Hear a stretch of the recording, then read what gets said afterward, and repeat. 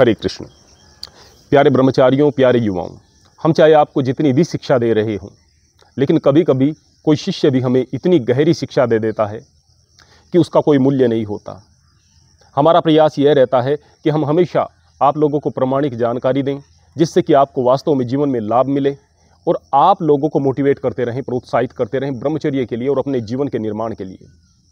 लेकिन एक हमारा शिष्य हमें ऐसी जानकारी दे करके गया, कुछ ऐसा ज्ञान दे करके गया, जिसका हमें अनुभव ही नहीं था, पक्का अनुभव नहीं था। हम निश्चित रूप से समय समय पर उसको आप तक शेयर करते रहेंगे, क्योंकि वह ज्ञान बहुत लंबा चौड़ा था, एक किताब के रूप में, जो कि उसने खुद लिखी थी। हुआ यूँ कि एक लड़का जो कि लगभग सत्तर किलोमीटर हमसे दूर रहता है, व्यक्तिगत रूप से भी वह हमें जानता था हमारी एक वीडियो को देख करके मेरे पास में आया और मंदिर में जैसे ही उसने प्रवेश किया, मैंने देखा कि बड़ा ही कमज़ोर सा लड़का था। उसके कदम चलते हुए लड़खड़ा सी रहे थे। आत्मविश्वास के नाम पर कुछ भी नहीं था।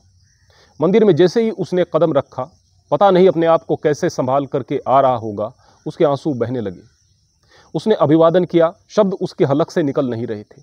मैंने उसको प्यार से अपने पास में बैठाया।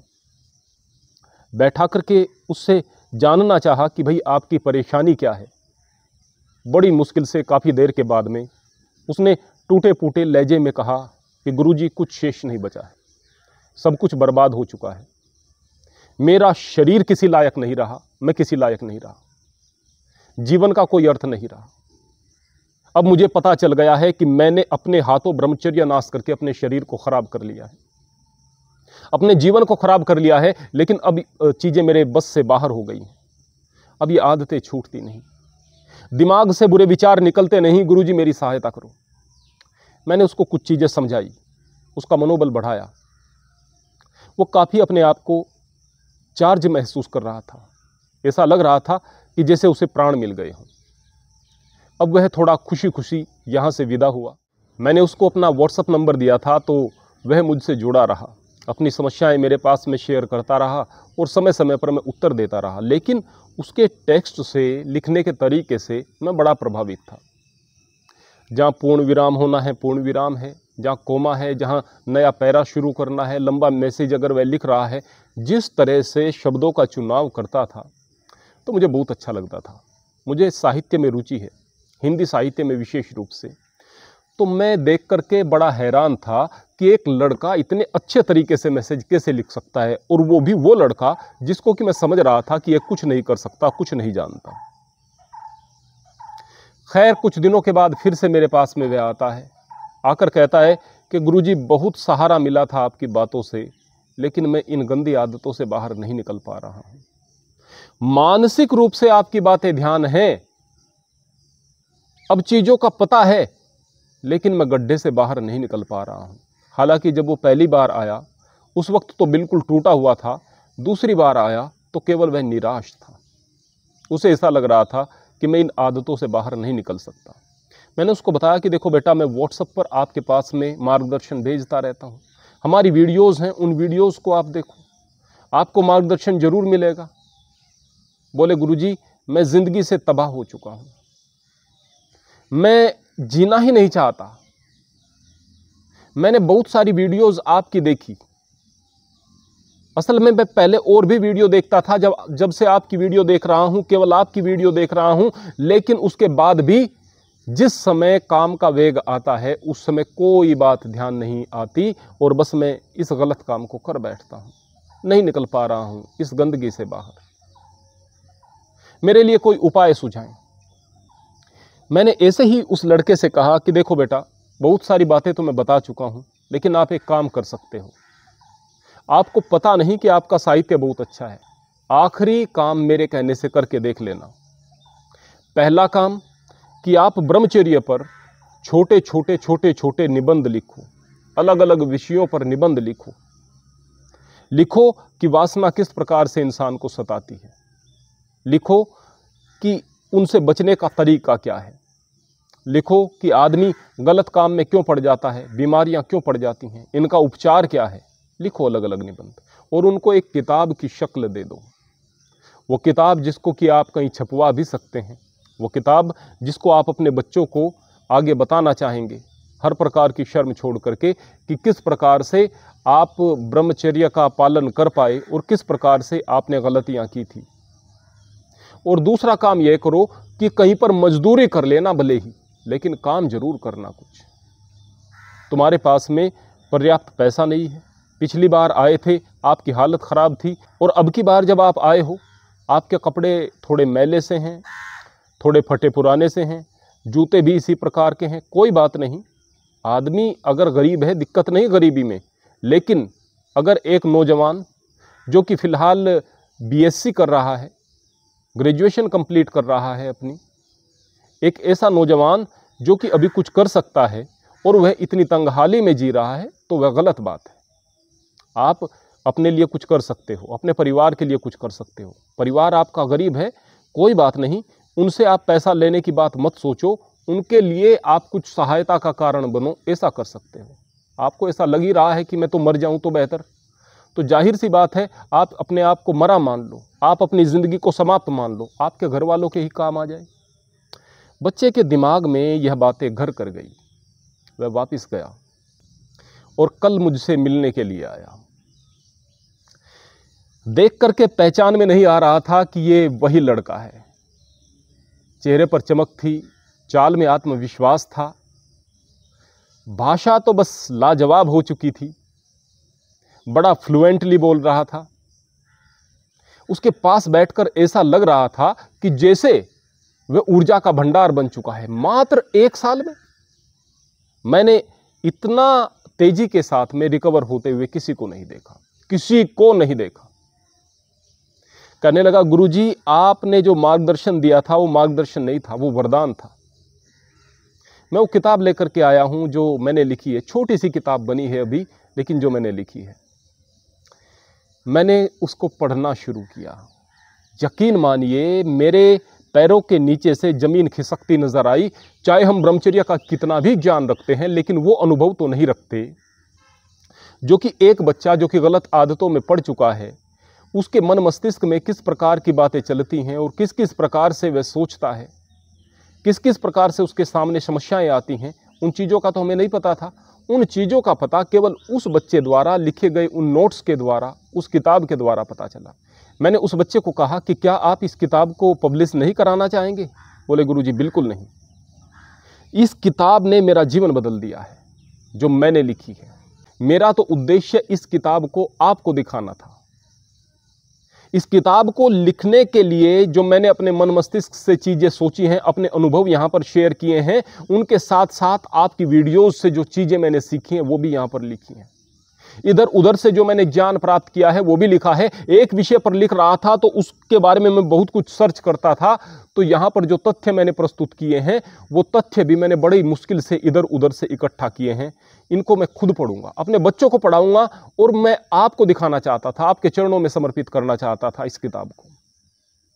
मेरे मन में एक बात चल रही थी कि यद्यपि मैं कभी कभी सोचता था कि ब्रह्मचर्य पर कोई किताब लिखूं, लेकिन अब तो मैं पक्का लिखूँगा और निश्चित रूप से इस बच्चे के जो अनुभव हैं, वो इस किताब के आधार बनेंगे। चाहे हम कितना भी ज्ञान प्राप्त कर लेते, मैं पक्का कह सकता हूँ कि इन अनुभवों से तो हम अछूते रहते बच्चे ने अपने बारे में लिखा था कि किस प्रकार से वह वासना युक्त कल्पनाएँ करता था। जबकि उसकी उम्र तेरह चौदह साल थी, तब से ही वह वासना युक्त कल्पनाएँ करता था, विशेष रूप से रात के समय। जब भी अकेला होता था, तब करता था। उन कल्पनाओं में अपने आप को एक राजकुमार की तरह से देखता था, एक राजा की तरह से देखता था। और साथ में कोई लड़की उसकी कल्पनाओं में होती थी। हर प्रकार के कामुक विचार चलते थे। इवन जिस भी खूबसूरत बच्ची को वह देखता था, लड़की को देखता था, उसके बारे में गलत ख्यालात उसके मन मस्तिष्क में चलते थे। उसने बताया कि मैंने कोई रिश्ता भी नहीं छोड़ा, कोई रिश्तेदारी में भी कोई ऐसी बच्ची नहीं छोड़ी, कोई लड़की नहीं छोड़ी। प्रत्येक दिन अलग अलग युवतियों के बारे में वह कल्पनाएँ करता था, गलत कल्पनाएँ करता था, अपनी उम्र से बड़ी भी युवतियों के बारे में।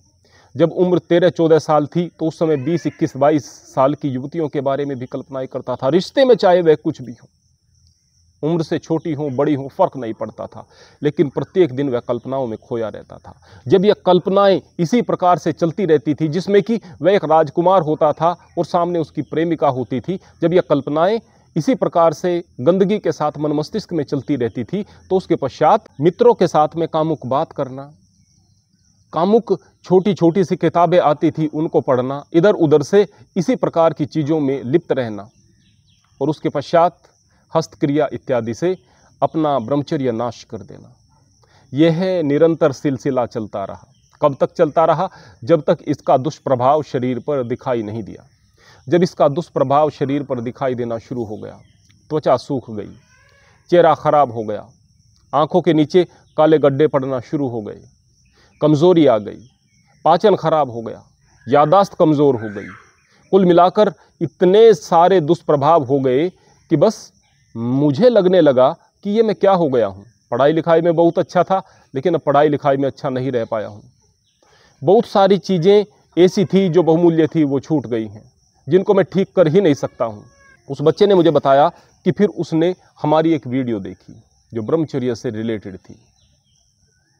उस वीडियो का शीर्षक था कि निराश, हताश युवक एक बार इस वीडियो को ज़रूर देखें। हम उस वीडियो का लिंक यहाँ पर डिस्क्रिप्शन में दे देंगे। हमारे चैनल आनंद धारा पर वह अपलोड है, दूसरे चैनल पर अपलोड है। उस बच्चे ने बताया कि उस वीडियो को देख करके उसे ऐसा लगा कि शायद अब वह ठीक हो सकता है। उस वीडियो को देख करके उसे ऐसा लगा कि वास्तव में उसे ब्रह्मचर्य का पालन करना चाहिए। उस वीडियो को देख करके उसके अंदर नई आशाएँ जगी जो कि आशाएँ टूट चुकी थी। फिर वह बच्चा मुझे बताता है कि उसके पश्चात उसने प्रयास शुरू किया इन वासनाओं से बाहर निकलने का।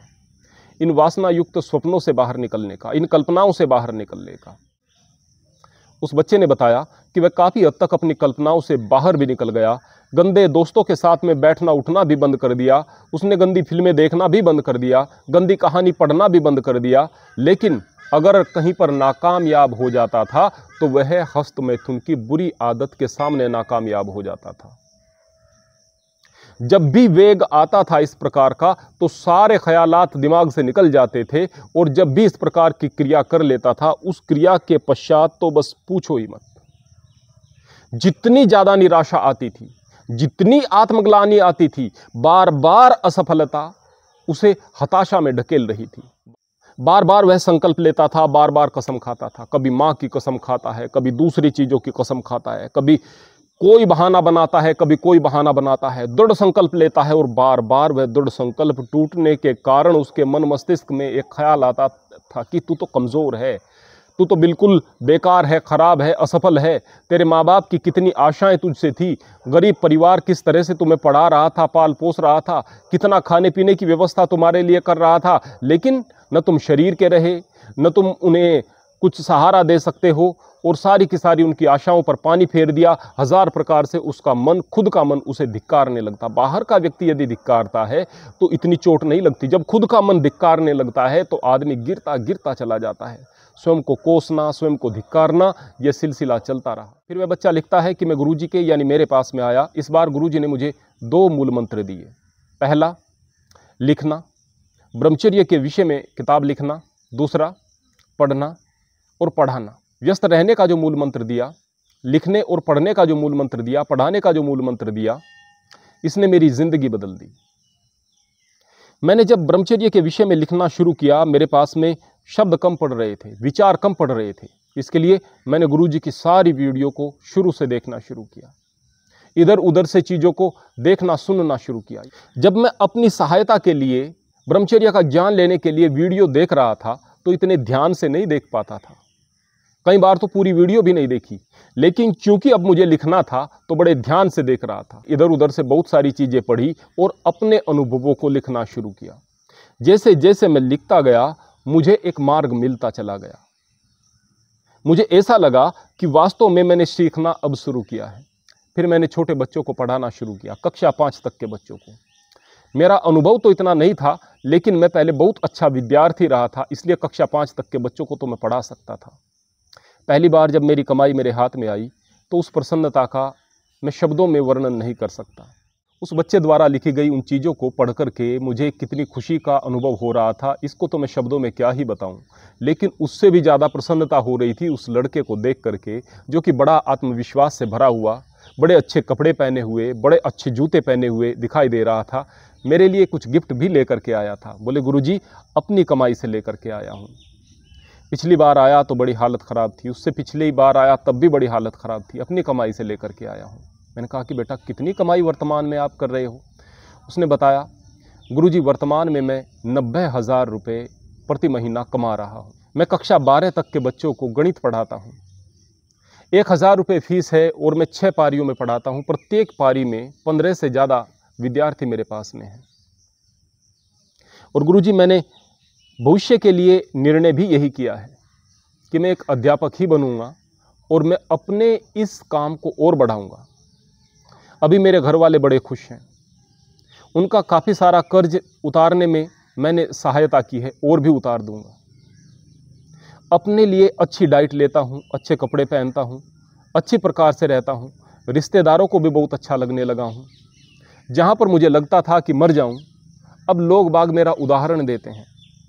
रोग तो मेरे अभी तक ठीक नहीं हुए, जो मुझे लग गए थे ब्रह्मचर्य नाश के कारण लेकिन जैसा आपने कहा था कि वास्तव में इन रोगों से कुछ नहीं बिगड़ेगा, मैंने ब्रह्मचर्य का कठोरता से पालन किया धीरे धीरे ये रोग भी ठीक हो जाएँगे, शरीर बहुत अच्छा हो रहा है। उसकी बातें सुन करके मैं अत्यंत प्रसन्न था। प्यारे बच्चों, प्यारे युवाओं, यह बिल्कुल सत्य और बिल्कुल ताज़ा घटना है, कल ही की घटना है कि मेरे जीवन में मैंने पहली बार किसी युवक से कुछ सीखा। भले ही वहाँ पर उसने अपनी हताशा, अपनी निराशा के बारे में लिखा था, अपनी कमज़ोरी के बारे में लिखा था बार बार मिलने वाली असफलताओं के विषय में लिखा था, लेकिन पहली बार मैं इतनी बारीकी से समझ पाया कि ब्रह्मचर्य नाश करने वाले व्यक्ति के मन में क्या क्या चीज़ें चल सकती हैं, कितनी गलत चीज़ें चल सकती हैं, किस तरह से वह सोचता है। और उसने इतने सुंदर शब्दों में वो सारी की सारी चीज़ें लिखी थी, जैसे कि उसके मन को पढ़ रहा हूँ मैं। प्यारे युवाओं निश्चित रूप से उन अनुभवों को आगे मैं आप लोगों के सामने शेयर करूँगा। लेकिन इस घटना को मैंने उस लड़के का नाम बताए बगैर, उसका स्थान बताए बगैर आप लोगों के साथ में शेयर किया है, क्योंकि यह उस बच्चे की इच्छा थी। वह चाहता था कि उसकी कहानी लोगों तक बताई जाए, उसकी पहचान बताए बगैर, ताकि लोगों को प्रेरणा मिले, युवाओं को प्रेरणा मिले। प्यारे बच्चों प्यारे युवाओं, मैं फिर से दो शब्दों में केवल एक बात कहना चाहूँगा कि कभी देर नहीं होती है, निराश नहीं होना है, आप कभी भी अपनी ज़िंदगी को बदल सकते हो। अगर अभी तक आप किसी बुरी आदत से निकल नहीं पाए हो तो शायद वह रास्ता नहीं मिला है, जो रास्ता आपके लिए ज़्यादा उपयुक्त है। और सबसे ज़्यादा बेहतर मार्ग तो इन बुरी आदतों से निकलने का केवल यही होता है कि अच्छी बातों को ध्यान से सुनो, पूरा सुनो, गहराई से मनन करो उन चीज़ों को दूसरों को बताना शुरू कर दो। अपनाना शुरू कर दो। व्यस्त रहो, कोई काम करो। किसी भी समय आपको समय न मिले। जिस तरह से यह लड़का दिन में छह पारियाँ पढ़ा रहा है और खुद पढ़ भी रहा है तो उसके पास में कहाँ समय बचेगा? अब पढ़ाने के लिए कुछ न कुछ पढ़ना भी पड़ेगा। ऊपर से वह ब्रह्मचर्य के लिए कुछ चीज़ों को लिख भी रहा था। ऊपर से वह ब्रह्मचर्य की वीडियोस वगैरह देखने की भी कोशिश करता था, ज्ञान लेने की कोशिश करता था। उसने मुझे बताया कि अब तक की जितनी भी मेरे दोनों चैनल पर वीडियो अपलोड है, एक भी वीडियो ऐसी नहीं है, चाहे वह धार्मिक है, चाहे सामाजिक है, चाहे कोई भी वीडियो है, जो उसने पूरी नहीं देखी है। तो ज़ाहिर सी बात है, जब व्यक्ति इतना कुछ करेगा, अपना अपना स्वभाव बदलने के लिए, अपना मन मस्तिष्क बदलने के लिए, अपना जीवन बदलने के लिए तो उसके पास समय ही कहाँ बचेगा? वासनाओं के लिए या बुरी चीज़ों के लिए? कितना भी दुराचारी हो, कितना भी व्यभिचारी हो, कितना भी भ्रष्टाचारी हो, कितना भी गलत हो यदि अपने आप को बदलना चाहे तो बदल सकता है। व्यस्तता के मार्ग पर चलकर, धर्म के मार्ग पर चलकर, ज्ञान के मार्ग पर चलकर। हरिओम हरे कृष्ण।